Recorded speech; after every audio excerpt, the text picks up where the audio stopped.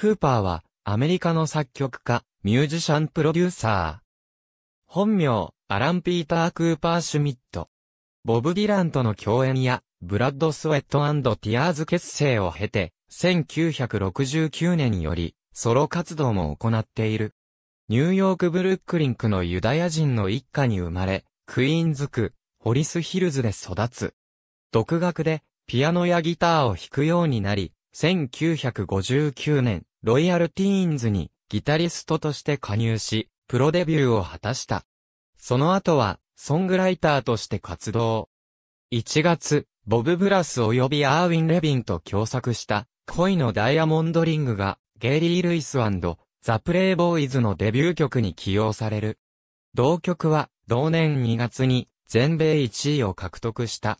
また、ジーン・ピットニーのために I must be seeing sings を書いた。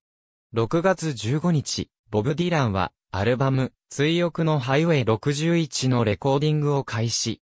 クーパーは見学のために、スタジオに入り、この時、マイク・ブルームフィールドとの出会いを果たしている。翌16日、ライクは、ローリングストーンの録音の際、その場で、オルガンの演奏を提案し、飛び入りで、セッションに参加した。同年の後半、ブルースプロジェクトのオーディションに参加し、グループに加入。1966年3月発表のデビューアルバム、ライブアットザカフェユゴーではオルガンを弾くとともに、I want to be your driver でリードボーカルを担当した。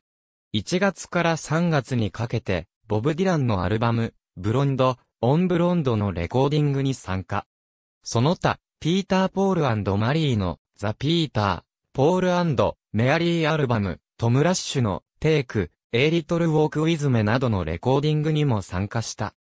6月発売のコンピレーションアルバム、What's シャキンで自作曲、Can't Keep From Crying Sometimes を自身の名義で発表。6月16日から18日にかけて、野外コンサート、モントレーポップフェスティバルが開催される。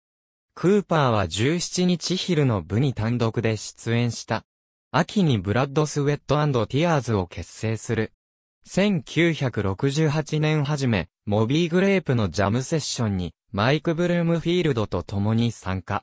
クーパーは、ブラックカランとジャムで、ブルームフィールドは、マーマレードでピアノを弾いた。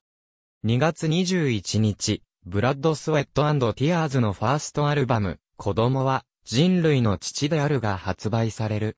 しかしリリースから間もない3月にグループを脱退。4月15日、ニューヨークのライブハウスで行われたジミ・ヘンドリックスのジャムセッションに参加し、ライクはローリングストーンでオルガンを弾いた。この時の演奏はいくつかの非公式の CD で聴くことができる。7月22日、マイク・ブルームフィールド、クーパー、スティーブン・スティルス3人の名義で、アルバム、スーパーセッションを発表。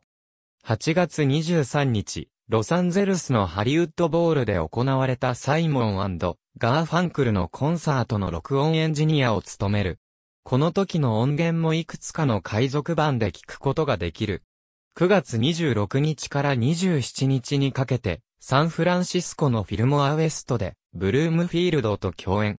なお28日は、出演不可能となったブルームフィールドの代役として、エルビン・ビショップ、カルロス・サンタナラが、クーパーのコンサートに参加した。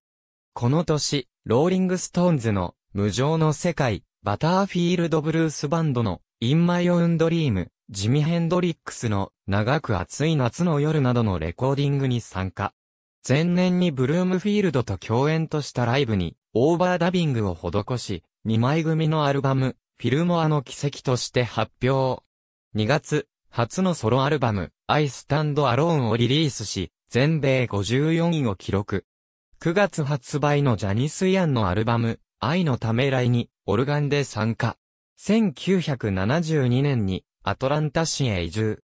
1973年1月、アルバム、赤心の歌を発表。アルバムに収録された、ジョリーは、日本で特別に愛された。同年 MCA レコードのサブレーベル、サウンズ・オブ・ザ・サウスを設立し、レーナード・スキナードを世に出して、サザンロックブームの一翼を担った。1980年代以降は佳作となるが、2003年に初の日本公演を行い、2005年7月には11年ぶりの新作、ブラックコーヒーを発表した。2016年12月10日放送の NHK スペシャルボブ・ディラン・ノーベル賞詩人魔法の言葉にて、ディランをよく知るミュージシャンとして取材を受ける。ありがとうございます。